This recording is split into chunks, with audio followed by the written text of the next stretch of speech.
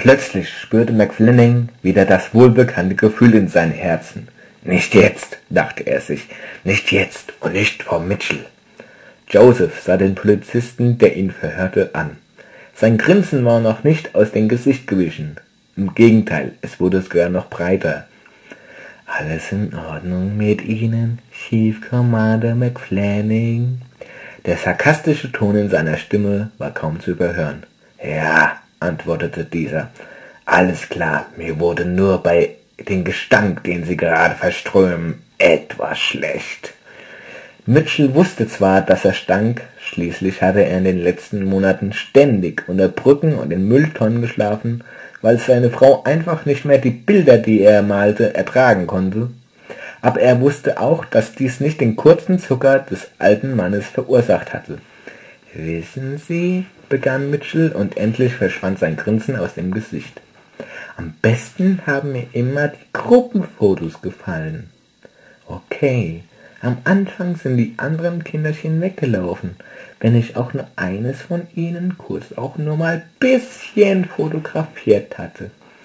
Aber im Laufe der Monate habe ich mir das mit dem Klebeband einfallen lassen. Ich habe gesagt, los Kinderchen, wenn alle auf das Bild wollen, dann nehmt euch schön an die Hände. Dann habe ich das Klebeband genommen und die ineinander geschlossenen Händchen umwickelt. Im Normalfall wären spätestens fünf oder sechs Kinderchen weggelaufen, sobald ich auch nur das Klebeband herausgeholt hätte. Aber die Narzissten haben die festgehalten, die weglaufen wollten. Und die Mädels wollten eh an meinen Zuckerstangen lutschen weswegen alle schön brav stehen geblieben sind.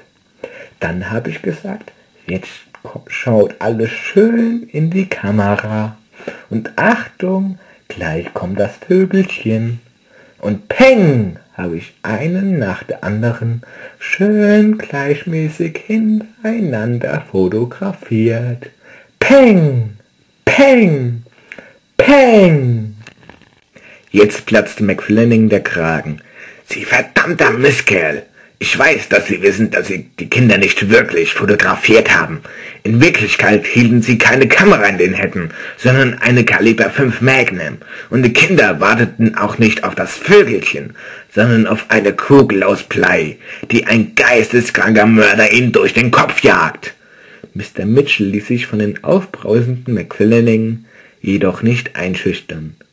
Aber Chief Commander McFlanning, da tun sie mir aber Unrecht.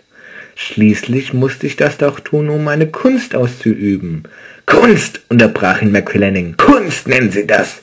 Sie haben mit der Hirnmasse der Kinder überall auf Hauswänden und auf dem Asphalt kleine Häschen gemalt.